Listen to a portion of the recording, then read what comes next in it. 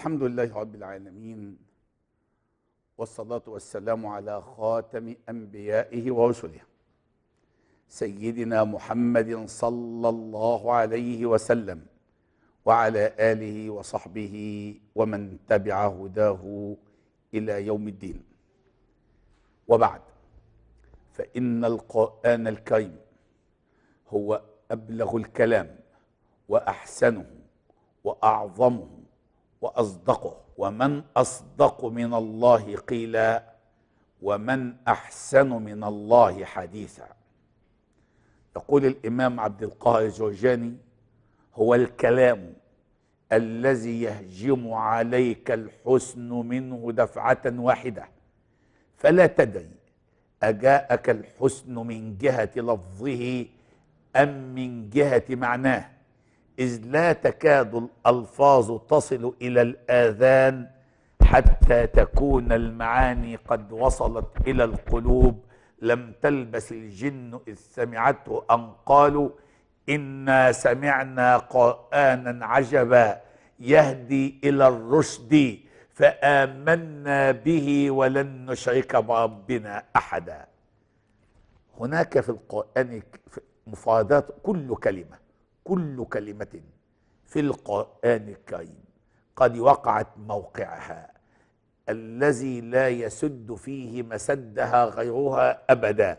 لا تقديما ولا تأخيرا ولا حذفا ولا ذكرا. وعندما نتحدث عن بلاغة وعظمة بلاغة المفردة القرآنية فإننا نتحدث بالمثال. وأضرب لكم بعض الأمثلة. في قوله تعالى ويسألونك عن اليتامى قل إصلاح لهم خير. لا توجد كلمة لا في العربية ولا في أي لغة يمكن أن تقوم مقام كلمة إصلاح أو أن تسد مسدها. أي كلمة؟ نعم أي كلمة. لماذا؟ لم يقل القرآن الكريم إطعام أو كساء أو إسكان أو كفالة أو رعاية. وإنما اختار كلمة إصلاح.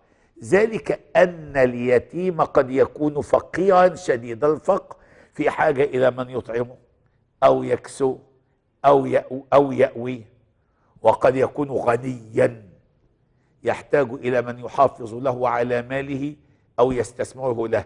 ففي الحالة الأولى إصلاح اليتيم الفقير أن تنفق عليه إن كان في حاجة إلى الطعام أن تطعمه وإن كان في حاجة إلى الكساء أن تكسوه. وإن كان في حاجة إلى المسجد كان أن تأويه. وفي حالة الفق... الغني الفقير الغني أن تحافظ له على ماله. قد يكون الفقير غنيا وله أخ أو عم يحافظ له على ماله. يحتاج منك إلى الحنو وإلى الرحمة وأن, ت... وأن تنزله منزلة ولدك.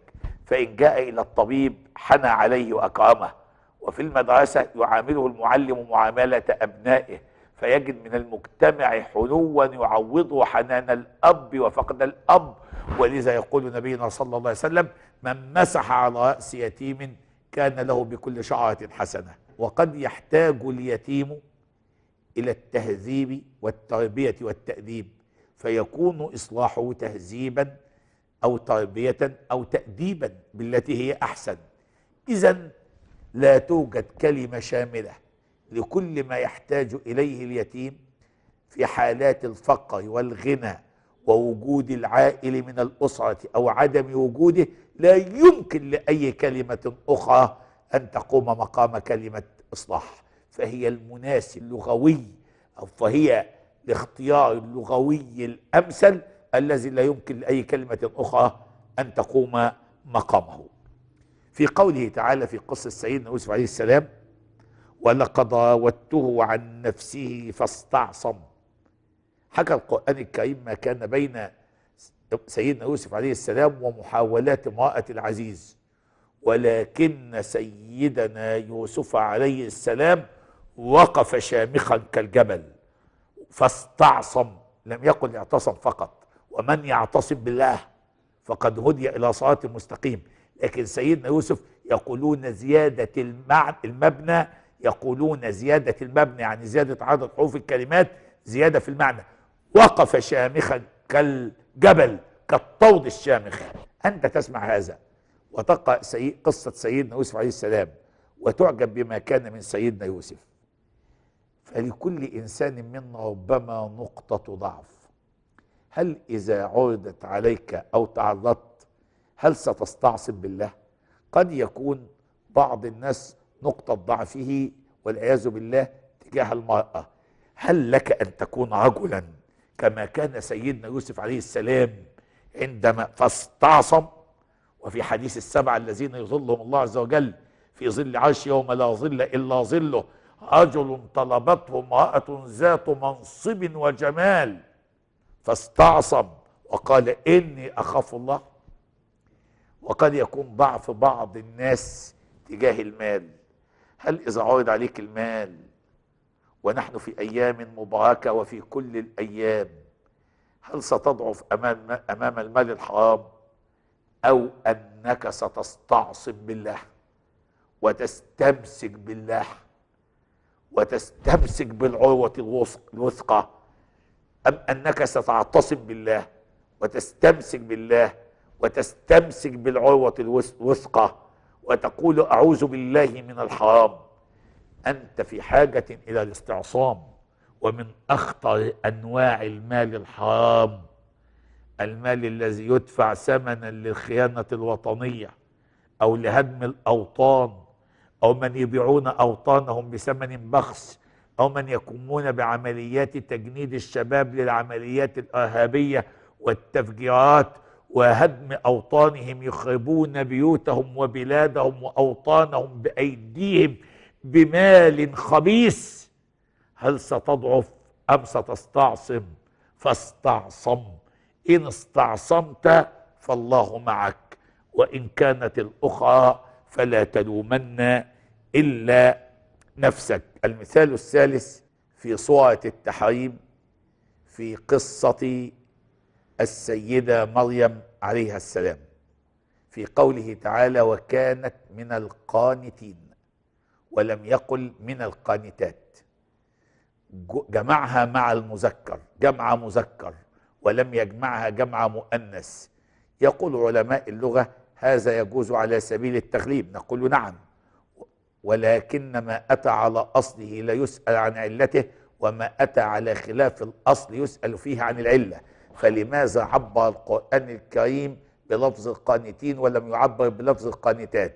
ذلك أن خدمة بيت الرب آنذاك لم تكن من العمل الذي تقوم به النساء ولم يعهد إلى النساء. وكانت امرأة عمران نظرت إن, إن نظرت إن من الله عليها بولد أن تجعله لخدمة بيت الرب. لخدمة بيت الله. فلما وضعت السيدة مريم قالت رب إني وضعتها أنثى. والله أعلم بما وضعت وليس الذكر كالأنثى. كان القياس في هذا النص القرآني أن يقال وليس الأنثى كالذكر ولكن القرآن استخدم التشبيه المقلوب على حد تعبير البلاغيين فقال وليس الذكر كالأنثى. أي وليس الذكر الذي كنت تتمنين كالأنثى التي رزقتين فهي خير من كثير من الذكور لما قامت وما تقوم به ولفضل الله عليها. ويقول الشاعر وما التأنيس لاسم الشمس عيب ولا التذكير فخر للهلال قالت ربي إني وضعتها أنثى والله أعلم بما وضعت وليس الذكر كالأنثى وإني سميتها مريم وإني أعيذها بك وذريتها من الشيطان الرجيم فتقبلها ربها بقبول حسن. وقامت على خدمة بيت الله خير قيام. فلما قامت بخدمة بيت الرب خير قيام. كأكفأ الرجال وأفضل الرجال جاء التعبير بلفظ القانتين لأن ما قامت به كان عملا عظيما. كان عملا عظيما يحمله الرجال.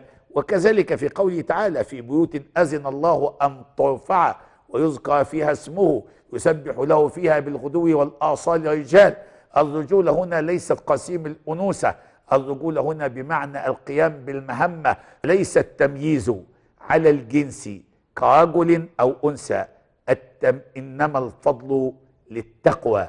ولكفاءة الإنسان وماذا يقد وما يقدمه. فليس التمييز على مجرد الجنس على الذكر أو الأنثى بل إن القرآن أنه من عمل صالحا من ذكر أو أنثى. فلا تمييز على الجنس في العمل إنما على التقوى والصلاح والكفاءة والقيام بالمهام وخدمة الدين وخدمة الوطن. ونؤكد مرات ومرات أن خدمة الوطن لا تنفك عن خدمة الدين. آه، فقدر كل امرئ من ذكر أو أنثى ما كان يحسنه وما يؤديه من خدمة للمجتمع وما يؤديه من خدمة للإنسانية. إن أكرمكم عند الله أتقاكم فالأفضلية للتقوى وللعمل وللكفاءة وللعطاء فما التأنيس لاسم الشمس عيب ولا التذكير فخر للهلال. أبا الزهراء يوم الحشر كنت شفيع الخلق عند الله أنت. أبا الزهراء أبا الزهراء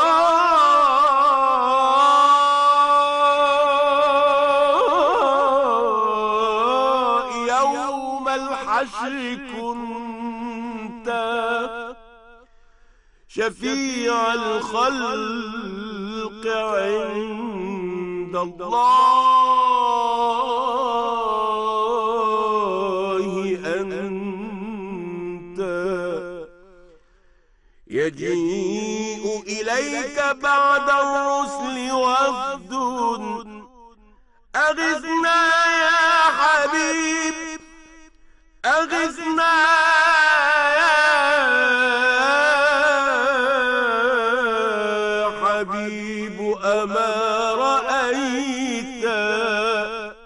أقول قولي هذا وأسأل الله أن يتقبل منا صالح الأعمال وأن يتقبل منا رمضان وأن يتقبل منا صلاتنا وصيامنا وقيامنا وركوعنا وسجودنا وأن يجعلنا في هذا الشهر الفضيل الكريم من المقبولين.